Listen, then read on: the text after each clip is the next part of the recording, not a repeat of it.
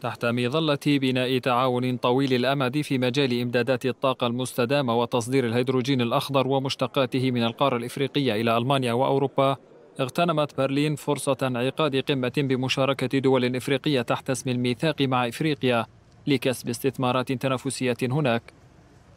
العاصمة الألمانية برلين استضافت القمة بقيادة مجموعة العشرين من أجل تسليط الضوء على الاهتمام بالقارة الإفريقية وسط منافسات دولية بين أوروبا والولايات المتحدة من جهة وروسيا والصين من جهة أخرى على النفوذ والموارد.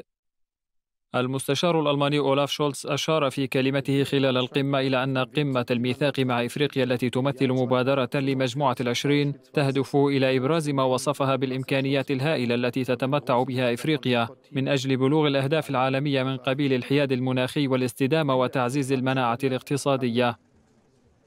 المستشار الألماني قال إنه منذ إحداث الميثاق مع إفريقيا تحت رئاسة ألمانيا لمجموعة العشرين في العام 2017 أضحى هناك هدف مزدوج هو تشجيع الاستثمارات الخاصة والتشغيل وتعزيز الإصلاحات في البلدان الشريكة بقصد تمهيد الطريق للنمو المستدام الذي يعود بالنفع الكامل على المواطنين وفق تعبيره.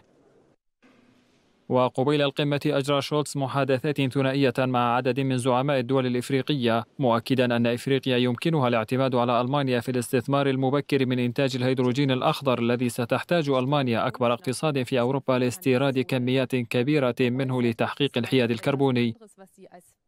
والدول الإفريقية الأعضاء في المبادرة التي تم تدشينها في 2017 خلال رئاسة ألمانيا لمجموعة العشرين هي المغرب وتونس ومصر والسنغال وغينيا وساحل العاج وغانا وتوغو وبنين وبوركينا فاسو ورواندا وجمهورية الكونغو الديمقراطية وإثيوبيا.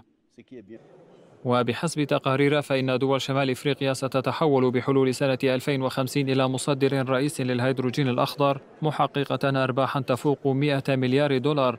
مؤكدة أن أوروبا ستكون السوق الرئيس لهذه الطاقة البديلة.